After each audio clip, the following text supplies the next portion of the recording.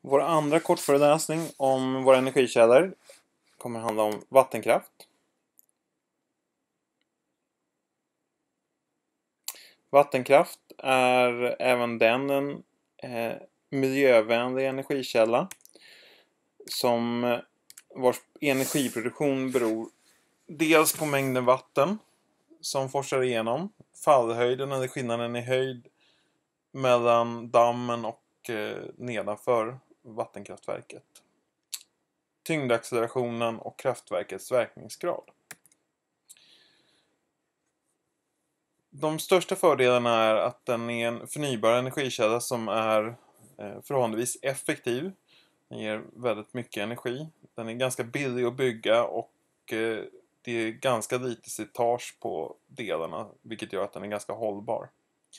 Det är även en ren energi som inte ger några utsläpp när den väl är i produktion. Nackdelarna som gäller generellt sett är att det är stora förändringar i de naturliga vattenförhållanden eftersom man dämmer upp vattnet. Och att det även blir en stor skillnad i vattennivå beroende på om man släpper igenom mycket vatten eller inte. Vilket gör att strandremsan kring dammen ofta är påverkad.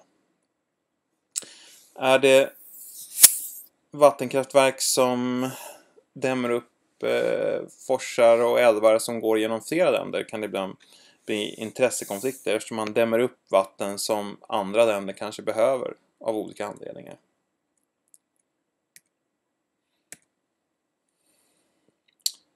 Ja, ska vi gå in lite närmare på hur det fungerar så kan man se att även här så är det en turbin som drivs eh, och den driver i sin tur en generator som producerar energin.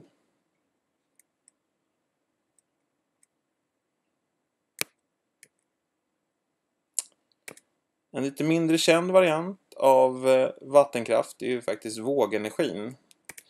Och det finns lite olika varianter. En variant är att man har en boj, bojar som ligger uppe vid vattenytan och sen som guppar med vågen och att det då driver en generator.